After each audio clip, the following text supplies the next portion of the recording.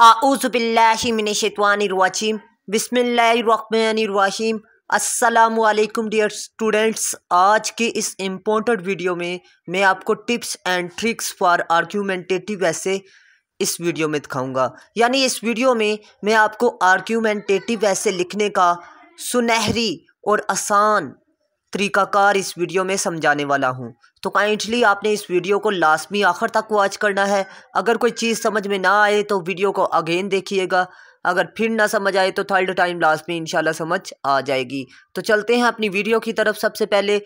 आप लोगों से रिक्वेस्ट है कि अगर आप लोग मेरे चैनल पर न्यू हैं तो काइंडली मेरे चैनल को लाजमी सब्सक्राइब कर लीजिएगा और साथ बेल आइकन के बटन पे जाके ऑल पे लाजमी प्रेस कीजिएगा ताकि इस तरह की इंफॉर्मेटिव वीडियो का नोटिफिकेशन आपको बसानी मिल सके। तो सबसे पहले बात करते हैं जी अंडरस्टैंडिंग द क्वेश्चन या अंडरस्टैंडिंग द ऐसे ठीक है, सबसे पहले आपने सवाल को समझना है, सवाल में क्या पूछ रहा है, सवाल की ज़रूरत क्या है और इसके अलावा इसके बेसिक जो उनसे अज्जा हैं वो कौन कौन से हैं? मतलब आपने की पॉइंट सर्च करने हैं कि वो क्या आपसे पूछ रहा है, क्या फाइंड आपने करना है, क्या साबित करना आपने। सबसे पहले आपने ऐसे को समझना है कि ऐसे में पूछा क्या गया है। ठीक है आर्ग्यूमेंटेटिव ऐसे लिखने का रिस्क आपने नहीं लेना क्योंकि आर्ग्यूमेंटेटिव जो सा ऐसे होता है, इसमें ninety five percent chance failure का होता है। तो आप लोग रिस्क में ना डाला डालें अपने आप को। हाँ अगर आपको अच्छे तरीके से सौ फ़ीसद यकीन है तो आप लोग लाजमी लिखें। लेकिन मेरा काम था मशरुआ देना। आर्ग्यूमेंटेटिव ऐसे आप किसी भी सूरत में ना लिखें, क्योंकि इसमें फेलियर का चांस बहुत ज़्यादा होता है। क्यों? क्योंकि इसमें सब्जेक्टिविटी का एलिमेंट बहुत ज़्यादा पाया जाता है। सब्जेक्टिविटी मतलब आपको वो एक ऐसे दे रहा है, वो आप इकोनॉमिकली उसको इकोनॉमिकली पहलू से लिख रहे हैं, लेकिन वो मजहबी पहलू से देख रहा है एग्जामिनर आपको, आपके ऐसे को। तो इस लिहाज से आपके पॉइंट उससे नहीं मिलते तो वो आपको फेल कर देता है। तो आप लोगों ने कोशिश करनी है कि आप आर्ग्यूमेंटेटिव ऐसे किसी भी सूरत में ना लिखें। हाँ अगर आपको गिरफ्त है तो फिर ज़रूर लिखें, वो आपकी मर्ज़ी है। अब बात करते हैं थीसी स्टेटमेंट हाँ जी आर्ग्यूमेंटेटिव ऐसे में दूसरा स्टेप आपने जो सा फॉलो करना होता है, वो ये होता है कि आप लोगों ने थीसी स्टेटमेंट लिखनी है। थीसी स्टेटमेंट क्या होती है? थीसी स्टेटमेंट वो होती है जो कि आपने चीज़ अपने अल्फाज में साबित करनी होती है। जो चीज़ आपको साबित करने के लिए एग्जामिनर देता है, ठीक है? तो आप लोगों ने थीसी स्टेटमेंट में अपने जो उनसे अपना जो सा मौक़ है, उसको बयान कर देना। है डायरेक्टली और दो से तीन लाइनों से ज़्यादा आपने थीसी स्टेटमेंट नहीं लिखनी। एक से दो के दरमियान आपने थीसी स्टेटमेंट लिखनी है। ठीक है? और ये थीसी स्टेटमेंट जो सी होती है, ये आपके ऐसे का रोड मैप होता है। ठीक है? अब नेक्स्ट ये जो से पॉइंट्स हैं, मैं आपको समझा रहा हूँ, आप लोग खुद नोट डाउन करके इन, इनको समझ लीजिएगा। इंट्रोडक्शन अच्छा सबसे पहले आपने इंट्रोडक्शन में ब्राइट स्टार्ट लिखना है। ब्राइट स्टार्ट आपने कैसे लिखना है? जी ब्राइट स्टार्ट में आपका हुक आ जाता है। इसके अलावा आपकी जो सी वोकेबलरी है और ग्रामेटिकली मिस्टेक है, वो नहीं होनी चाहिए आपके इंट्रोडक्शन में। ये चीज़ें आपने नज़रअंदाज नहीं करनी। अगर नज़रअंदाज कर दी तो आप लोग फेल की तरफ़ जाएँगे। और कोशिश करें कि आप लोग बैकग्राउंड इन्फॉर्मेशन लास्ट में लिखें। ज़रूरी टर्म्स और डेफिनेशन आप आर्ग्यूमेंटेटिव ऐसे में शुरू में लिखेंगे। And introduction with your thesis statement हाँ जी, कि आप लोगों ने तीन पॉइंट्स लिखने हैं, आपने थीसी स्टेटमेंट के साथ इसका एंड कर देना है। ये आपका इंट्रोडक्शन होगा। अब बात करते हैं मेन बॉडी में। मेन बॉडी में आपने क्या लिखना है जी? अब बात करते हैं each paragraph should with a topic sentence हाँ जी, आपने थीसी स्टेटमेंट में जो अपना मौकफ लिखा था, आपने उसी मौकफ को हर पैराग्राफ के शुरू में लिखना है। हर पैराग्राफ के शुरू में एक सेंटेंस में आपने उसी का सेंटेंस बना के लिख देना। मतलब थीसी स्टेटमेंट को आपने थीसी स्टेटमेंट के वर्ड्स को आपने एक जुमले की सूरत में हर पैराग्राफ में लिखना है। अगर आप लोग फ़र्ज़ कर लें ए आउटलाइन में चार पैराग्राफ लिख रही हैं थीसी स्टेटमेंट वाले तो आप लोगों ने हर पैराग्राफ किससे स्टार्ट करना है? थीसी स्टेटमेंट के वर्ड्स अल्फाज से, ठीक है? अब बात करते हैं कि आपने इसमें मिसालें देनी है एग्जांपल देनी है और मावन अल्लात देने हैं। अपने मौक़ को आपने साबित करके दिखाना है कि मैं ठीक कह रहा हूँ। और ये पांचवा जो सा पॉइंट है, इसमें यह है कि आपने जो अपना मौक़ दिया है, उसके बारे में जितने भी आलम हैं, जितने भी मफकरीन हैं, जितने भी साइंसदान हैं, जितने भी आपके ओपोजिशन लीडर जो आपके ओपोजिट यानी मुखालिफ बयान देते हैं कि मैं इस चीज़ को नहीं मानता फ़र्ज़ कर लें, आप कहते हैं एजुकेशन हासिल करना एक अच्छी बात है, लेकिन उसके अगेंस्ट कोई आलम अगर जवाब देता है कि इलम हासिल करना वक्त का ज़िया है तो आप लोगों ने वो भी अल्फाज बयान करने हैं। मतलब एक अपने मुखालिफ आर्ग्यूमेंट देना। आपके अपने मौक़ से मतलब जो इतफाक़ नहीं करता, वो आपने एक लाइन, एक आलिम की लिखनी है। फिर आपने साबित करना है कि मैं जो चीज़ कह रहा हूँ, वो किस वजह से कह रहा हूँ। फिर आपने अपनी तरफ़ आना है और आपने कहना है कि मैं इस वजह से इसे, इसको गलत कहता हूँ, फ़लाँ आलिम या मुफक्रीन को गलत कहता हूँ। ठीक है?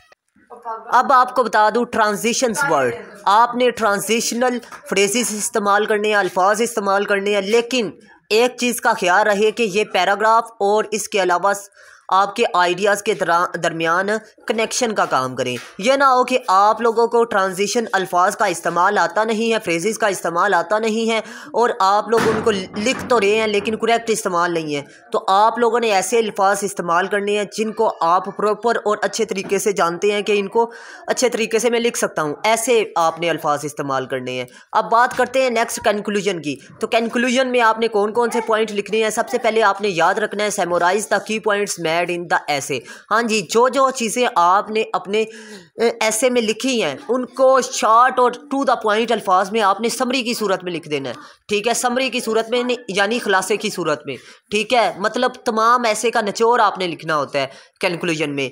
Restate your thesis statement in different way हाँ जी, कि आपने दोबारा क्या करना है, अपनी जो सी थीसी स्टेटमेंट है, उसको लिखना है कंक्लूजन के अंदर, लेकिन मुख्तलिफ़ तरीक़ों के साथ प्रोवाइड अ कंक्लूडिंग थाट और कॉल और एक्शन तो आपने आखिर पे क्या कहना है? आखिर में आपने साबित करना है कि मैं जो जो सा मौक़ कह रहा हूँ, ये इसके मतलब है। मतलब आपने फिर अपना मौक़ कंक्लूजन में लाजमी लिखना है। और आठवां पॉइंट जो सा है? वो ये है कि आपने क्लियर और शॉर्ट अल्फाज इस्तेमाल करने हैं। स्टूडेंट्स क्या करते हैं कि डॉन न्यूज़पेपर में से वोकेबलरी के अल्फाज उठा लेते हैं रट्टा लगा लेते हैं और उनको ऐसे में इस्तेमाल कर लेते हैं। वो बात तो अच्छी बात है लेकिन एक चीज़ को मद्देनज़र रखें कि अगर आप डॉन की ज़बान को इस्तेमाल करेंगे अपने ऐसे के अंदर तो वो आपको ऐसे में फ़ेल करेगा।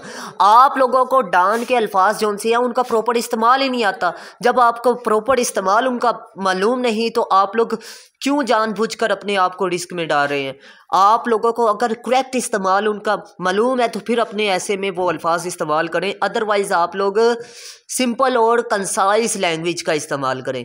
ठीक है? तो ये चीज़ आपके लिए बहुत ही हेल्पफुल साबित हो। गई अभी तक तक वीडियो ख़त्म नहीं हुई, एक अहम बता, बात बताता चलूँ कि अगर आप लोग सी एस एस के ऐसे के बारे में। तो आप लोग सिर्फ़ और सिर्फ़ छः ऐसे तैयार करें। ये छः ऐसे मैंने इशू बेस्ड ऐसे के लिए तैयार किए हैं। इशू बेस्ड ऐसे और आर्ग्यूमेंटेटिव ऐसे लाजमी सी एस एस में आते हैं। इशू बेस्ड ऐसे जो सा होता है? ये आपके दो आते हैं, बाकी आपके आर्ग्यूमेंटेटिव ऐसे आते हैं। आर्ग्यूमेंटेटिव ऐसे में आपको फेल कर देता है।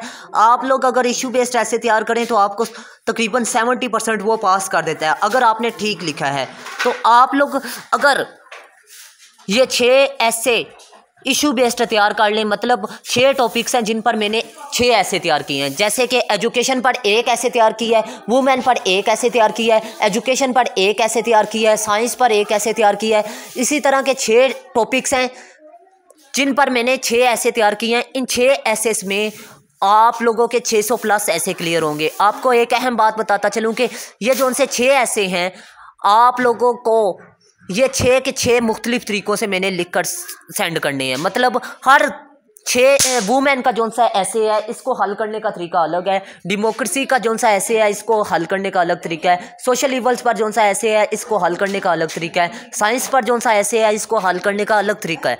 ठीक है, ये है तो इशू बेस्ड लेकिन पॉइंट्स अलग अलग है। मैंने ऐसे पॉइंट्स हर टॉपिक के लिए तैयार किए हैं, जो कि नाइन्टी परसेंट टॉपिक के लिहाज से एक्सेप्टेबल होंगे। और हर पॉइंट पर मैंने तकरीबन 400 से 500 सौ अल्फाज लिखा है। और 400 से 500 सौ अल्फाज मल्टीप्लाई आप छः करें तो तीन हज़ार अल्फाज आपका क्लियर हो जाता है। इंट्रोडक्शन वगैरह डाल के तकरीबन चार हज़ार अल्फाज बन जाता है। ये चार हज़ार अल्फाज अगर आप तैयार करके जाएँगे ऐसे के लिए तो आप लोगों को मैं गारंटी देता हूँ कि आप लोग तीन हज़ार या पच्चीस सौ ईजीली लिख लेंगे। जब तीन हज़ार, चार तीन हज़ार या पच्चीस सौ आपने रेलिवेंट लिखा है, ठीक लिखा है तो आप लोग पास हो जाएँगे। अगर फिर भी कोई सवाल है कन्फ्यूज़न है तो आप लोग मेरे व्हाट्सअप नंबर पर कांटेक्ट करें। इंशाल्लाह मैं अच्छे तरीके से आपको गाइड कर दूँगा टॉपिक के बारे में। बाज़ टीचर और बाज़ स्टूडेंट्स कह रहे हैं, ये ऐसे नहीं एक्सेप्टेबल सी एस एस के लिए. लेकिन मैं कहता हूँ, वो गलत है, क्योंकि उनको नहीं पता मैंने किस तरह तैयार किया है। बगैर तस्दीक की किए कोई बात कह दें तो ये गलत बात है। हाँ जी, सबसे अहम पॉइंट जो सा है? आप जो एविडेंस या एग्ज़ाम्पल दे रहे हैं अपने मौक़ को साबित करने के लिए, वो आपके थीसिस स्टेटमेंट के बारे में है या नहीं? थीसिस स्टेटमेंट क्या था? थीसी स्टेटमेंट आपका मौकफ था ऐसे के बारे में। आप लोगों ने ये बात यकीनी बनानी है कि जौन सा आपका, जौन सी आपकी मसालें या फिर आपकी कोटेशनें हैं या अदाद शुमार है, वो आपका हिट कर रहा है थीसी स्टेटमेंट को या नहीं कर रहा। अगर कर रहा है तो फिर तो ठीक है, अगर नहीं कर रहा तो ऐसी चीज़ों से आप हतुल इम्कान कोशिश करें कि इनसे बचें। इनको ना ही लिखें तो बेहतर है क्योंकि ये चीज़ें आपको डी ट्रैक कर देती हैं। मतलब डी ट्रैक क्या होता है कि आप सीधा ऐसे सही लिख रहे थे, समझ गए थे टॉपिक को, लेकिन दरमियान में आपने रास्ता गलत अपना लिया जिसकी वजह से आप अपनी मंजिल से हट गए। तो आप लोगों ने कोशिश करनी है कि आप लोगों ने मसाले भी रेलिवेंट ही देनी है। तो और इसके अलावा आपने जो कोटेशनें लिखनी है, वो भी रेलिवेंट ही लिखनी है ताकि आपका ऐसे बिल्कुल ठीक हो सके। अब बात करते हैं नेक्स्ट टेन पॉइंट की। सबसे बड़ी बात आप लोगों ने कोशिश करनी है कि आपने ऐसे में कोहेरनेस और क्लैरिटी यानी वाजियापन और इसके अलावा ऐसे में तरतीब और मुस्तकिल मजाजी को लाजमी अपनाएँ। ये ना हो कि आप सबसे पहले क्या लिख रहे हैं? आप सबसे पहले कंक्लूजन लिख रहे हैं और दरमियान आखिर में क्या लिख रहे हैं? इंट्रोडक्शन ये चीज़ नहीं होनी चाहिए आपके ऐसे में, ठीक है? और दूसरी बात, आप लोगों ने कोशिश करनी है कि आप लोग ग्रामेटिकल मिस्टेक ना करें और इसके अलावा प्रपोजिशन की मिस्टेक ना करें पेंचुएशन की मिस्टेक ना करें स्पेलिंग की मिस्टेक ना करें। इस तरह की गलतियाँ जो सी होती हैं, ये सी एस एस में आपको फेलियर की तरफ़ लेकर जाती हैं। तो आप लोगों ने इन चीज़ों से बचना है। एक चीज़ होगी, दूसरी बात, अपने उस्ताद, अपने टीचर्स के अलावा आप लोगों ने अपने क्लास फेलोज से भी डिस्कशन करनी है टॉपिक्स के बारे में और उनसे भी इस्ता हासिल करना है। दोस्त भी रखें तो सी एस पी जो उनसे होते हैं, उनको रखें। अब बात करते हैं time management time management most important होता है सी एस एस के इम्तिहान में। आप लोगों ने प्रॉपर प्लानिंग करके राइटिंग के लिए भी रिवीजन के लिए भी, और इसके अलावा याद करने के लिए भी। ये आप लोगों ने लाजमी करनी है। अगर प्लानिंग नहीं होगी तो आप लोग फेलियर की तरफ़ जाएँगे। मतलब आपका ऐसे तो पास हो जाएगा, बाकी सब्जेक्ट क्लियर नहीं होंगे। तो आप लोगों ने टाइम मैनेजमेंट लाजमी करनी है। मतलब हर ऐसे में अगर आप लोग सात पॉइंट दे रहे हैं, सात पॉइंट लिख रहे हैं या छः पॉइंट लिख रहे हैं तो आपने तकरीबन बीस मिनट में या पंद्रह मिनट में कोशिश करनी है कि एक पॉइंट को लिखना है, एक मौक़ को लिखना है, एक आउटलाइन को लिखना है। ठीक है? अगर इस तरह आप लिख रहे हैं तो फिर आपका ऐसे क्लियर होगा क्योंकि आपने रफ अमल भी आधा घंटा करना है और इसके अलावा आप लोगों ने गलतियाँ भी आखिर में देखनी है। आप लोगों ने रिवीजन भी करनी है। कोशिश करें अपनी टाइम मैनेज टाइम की स्पीड यानी टाइम मैनेजमेंट लाजमी करें। एक और दूसरी बात डेली बेसिस पे लिखें, कम से कम दस मिनट में आप लोग दो सौ अल्फाज लाजमी लिखें। इस तरह आपकी स्पीड बढ़ेगी। जब स्पीड बढ़ गई तो आप लोग दो घंटे में भी ऐसे लिख लेंगे। आधा घंटा आपने क्या करनी है? आपने रफ अमल में प्रैक्टिस करनी है कि मैंने ये पॉइंट रेलिवेंट लिखना है। ठीक है, आधा घंटा आपका उधर वेस्ट हो गया। आधा घंटा आपने रखना है जी कि आपने ऐसे को क्या करना है जी? ऐसे को रिवाइज करना है या ऐसे को ख़त्म करना है। ठीक है, या प्रेजेंटेशन ऐसे की करनी है। ये आधा घंटा आप आखिर पे छोड़ दें। लेकिन कोशिश करें कि आपने दो घंटे में अपना ऐसे लिखना है। आप आधा घंटा जो सा रिवाइज के लिए रखेंगे, उसमें मैं इसलिए कह रहा हूँ कि शायद आपके पास टाइम ना हो। आप लोग क्या करते हैं? हर पैराग्राफ को टाइम नहीं देते। जब टाइम एक्स्ट्रा नहीं देते मतलब एक पैराग्राफ आपने क्या लिखा? पाँच पेजेस में लिखा। एक पॉइंट को पाँच पेजेस में लिख दिया, एक पॉइंट को आपने एक पेजेस में लिख दिया। ये चीज़ आपको फेलियर की तरफ़ लेकर जाती है। क्यों? क्योंकि ये फेलियर की तरफ़ इसलिए लेकर जाती है क्योंकि ऊपर जाके मौजूद तब्दील हो गया। जिस पर आपने पाँच पेजेस लिखे थे, वो आपके टॉपिक वो आपका मौजू बन गया और जिस पर एक पेज लिखा था, वो उसका मौजू नहीं था, बल्कि एक पॉइंट बन गया। तो आप लोगों ने इस चीज़ से बचना है। एक चीज़ और दूसरी चीज़ ये ज़ाहिर कर रही है कि आपके पास एक चीज़ पर तो नॉलेज है, दूसरे में नॉलेज ना होने के बराबर है। तो तीसरी चीज़ इसमें टाइम मैनेजमेंट मिस्टेक नज़र आ रही है।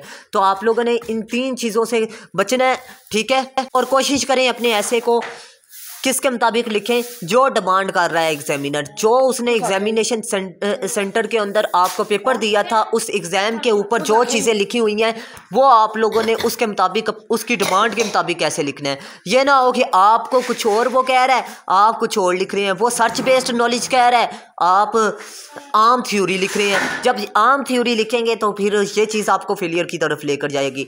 अब बात करते हैं नेक्स्ट रिमेंबर प्रैक्टिस हाँ जी आप लोगों ने कोशिश करनी है कि प्रैक्टिस डेली बेसिस पे करनी है। अगर आप लोग डेली बेसिस पे तैयारी कर रहे हैं तो आप लोगों ने कोशिश करनी है कि आप लोगों ने इंट्रोडक्शन लाजमी लिखना है डेली बेसिस पे। टॉपिक के बारे में, और इसके अलावा आप लोगों ने आउटलाइन लाजमी लिखनी है कोटेशन से लाजमी लिखनी है कंक्लूजन लाजमी लिखना है। लेकिन हफ़्ते के बाद आप लोगों की जो सी तैयारी का तरीकाकार होना चाहिए, वो ये होना चाहिए कि आपने हफ़्ते में एक या दो ऐसे लाजमी लिखने हैं। दो ऐसे लिखते हैं तो वेल एंड गुड अगर नहीं लिखते तो कोई बात नहीं, ठीक है? लेकिन कोशिश करें एक लाजमी लिखें, क्योंकि ये चीज़ आपको कामयाबी की तरफ़ लेकर जाएगी। डेली बेसिस पे एक मजमून पर तवज्जो ना रखें बल्कि तमाम मजमूनों को टाइम दें क्योंकि एक चीज़ याद रखें ऐसे सिर्फ़ आपको पास करवाएगा ऐसे के लिए आपने तीन घंटे रखे हैं तो बाकी सब्जेक्ट को भी दो घंटे या डेढ़ घंटे लाजमी दें। क्योंकि बाकी सब्जेक्ट में आपने अच्छे नंबर लेने हैं और अग, अगर आपके 800 नंबर हैं तो आप लोग कोशिश करें कोशिश करें कि इंटरव्यू में अच्छा परफॉर्म करें। इंटरव्यू में जब अच्छा परफॉर्म करेंगे तो इन आपको अच्छे नंबर मिल जाएँगे, ठीक है? और आपकी सिलेक्शन के चांसेस ज़्यादा हो जाएँगे। कम से कम अपना मेरिट अपनी जो सी, अपना टारगेट जो सा आपने रखना है, वो आठ सौ रखना है रिटर्न में। अगर 800 आप लोग रख रहे हैं तो इंशाल्लाह आपकी सिलेक्शन लाजमी हो जाएगी, ठीक है? अब बात करते हैं नेक्स्ट की, लेकिन उससे पहले आप लोगों से बता एक अहम बात बताता चलूँ कि जो मैंने छः ऐसे तैयार किए हैं मल्टी अगर वो तैयार करते हैं तो उनमें से आपका ऐसे क्लियर हो, जाएगा। आप लोगों ने सिर्फ़ उसमें से एक प्रैक्टिस करनी है किसकी आपने आउटलाइन की और इसके अलावा इंट्रोडक्शन की कोटेशन की और सिर्फ़ और सिर्फ़ कैलकुलेशन की प्रैक्टिस करनी है। वही छः ऐसे जो आप तैयार करेंगे इन उसी में से आपका पेपर क्लियर हो जाएगा और 600 प्लस आपके ऐसे क्लियर होंगे। अब बात करते हैं आर्ग्यूमेंटेटिव ऐसे में स्टेप कौन से होते हैं? स्टेप आपको बताता चलूँ कि आप लोगों के आर्ग्यूमेंटेटिव ऐसे में सात स्टेप होते हैं, कम से कम सात स्टेप इनको ज़्यादा आप कर सकते हैं, लेकिन आपने ये ध्यान में रखना है कि जितने पॉइंट आपने आउटलाइन में लिखे हैं, उतने पॉइंट को आपने साबित भी करना है। अगर दस लिखे हैं तो दस को साबित भी करना है। अगर आपने दस नहीं लिखे पूरे तो आपको फेल कर देगा वो। क्योंकि आपने ऐसे मुकम्मल नहीं लिखा तो फेलियर की तरफ़ ये चीज़ लेकर जाती है। आप लोगों ने कोशिश करनी है कि अपने ऐसे को मुकम्मल लिखना है, चाहे आप सात पॉइंट में लिखें, चाहे आप छः पॉइंट में लिखें। लेकिन अपनी बात को मुकम्मल लिखें। ठीक है? ये चीज़ आपको पास की तरफ़ लेकर जाएगी। अब बात करते हैं write five key points introduction के अलावा आपने क्या लिखने हैं? फाइव पॉइंट्स लिखने हैं और फाइव क्लेम्स लिखने हैं। फाइव मोकफ लिखने हैं आपने। अब बात करते हैं इंट्रोडक्शन आपका डेढ़ सौ या दो सौ अल्फाज पे होना चाहिए क्लेम वन आपका कितने अल्फाज पर होना चाहिए? साढ़े तीन सौ से चार सौ के दरमियान होना चाहिए क्लेम टू आपका जौन सा आपका अपना मोकफ जौन सा है वो तीन सौ साढ़े तीन सौ से लेकर चार सौ के दरमियान होना चाहिए। क्लेम थ्री जोन साहब वो साढ़े तीन सौ से चार सौ के दरमियान होना चाहिए। क्लेम फोर जोन साहब वो आपका कितने अल्फाज पर होना चाहिए? कम से कम चा, आ, कम से कम साढ़े तीन सौ से चार सौ अल्फाज होना चाहिए। Claim four zone five zone से वो भी आपका साढ़े तीन सौ से पाँच सौ चार सौ अल्फाज पर होना चाहिए। और कंक्लूजन भी आपका दो सौ या आपका डेढ़ सौ अल्फाज पर हो तो आपका ऐसे मुकम्मल हो जाएगा। अब बात करते हैं, ये अल्फाज तो दो हज़ार बनते हैं। हमने पच्चीस सौ या तीन हज़ार लिखना है। तो मैं आपको बताता चलूँ कि आपने कनेक्टर्स के अल्फाज लिखने हैं कोटेशंस लिखनी है तो आपका ऐसे तकरीबन बन जाएगा पच्चीस सौ के लगभग। आपको बताता चलूँ, ये इक्कीस सौ के करीब बन गया ऐसे। ठीक है, इक्कीस सौ और अगर आप लोग इस तरह की तरतीब रखते हैं तो आप वेल एंड गुड चार सौ, साढ़े चार सौ अगर अच्छा आप तीन हज़ार लफ्ज़ों पर लिखना चाहते हैं तो फिर आपका इंट्रोडक्शन ढाई सौ अल्फाज पर आ जाएगा, दो सौ के दरमियान आ जाएगा क्लेम जो है वो साढ़े चार सौ से पाँच सौ के दरमियान आ जाएगा, ठीक है, और कंक्लूजन आपका दो सौ से ढाई सौ के दरमियान आ जाएगा। इसी तरह आपका आर्ग्यूमेंटेटिव ऐसे तीन हज़ार अल्फाज पर क्लियर हो जाएगा, ये पच्चीस सौ अल्फाज के लिए मैंने बताया अब बात करते हैं कोटेशन अच्छा अब बात करते हैं कोटेशन कोटेशन जो सी हैं, इसके डेढ़ सौ अल्फाज हो गए, ठीक है? बाकी मेन कनेक्टर्स की बात करें तो ये डेढ़ सौ अल्फाज पर है, ठीक है? अब बात करें तो आपने एक आउटलाइन के पॉइंट में चार पैराग्राफ लिखने हैं। अब सौ का एक पैराग्राफ हो तो सौ मल्टीप्लाई चार करें तो आपका चार सौ अल्फाज बन गया। चार सौ अल्फाज मल्टीप्लाई आप करें, पाँच के साथ तो दो हज़ार अल्फाज बन गया। तो मैं उम्मीद करता हूँ आपको वीडियो अच्छी लगी। अगर वीडियो अच्छी लगी तो लाइक कीजिएगा। अल्लाह हाफिज़। पाकिस्तान जिंदाबाद, पाकिस्तान पा इंदाबाद।